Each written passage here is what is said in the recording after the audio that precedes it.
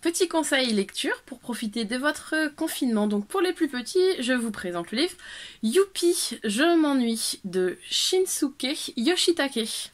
Un japonais, vous l'aurez compris.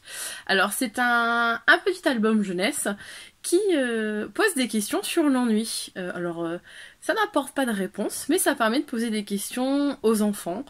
Donc par exemple, pourquoi on s'ennuie? Qui est-ce qui a inventé l'expression je m'ennuie Est-ce que les cailloux s'ennuient?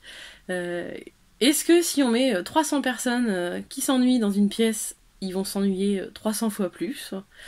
Et ça pose aussi des questions sur l'imagination, donc puisque notre petit garçon, notre petit héros qui se pose des questions, euh, bah, à force de s'ennuyer, euh, il va imaginer des choses comme par exemple euh, le parc d'attractions le plus ennuyeux du monde. Et bah, en fait, ça s'avère très rigolo d'imaginer des choses quand on s'ennuie.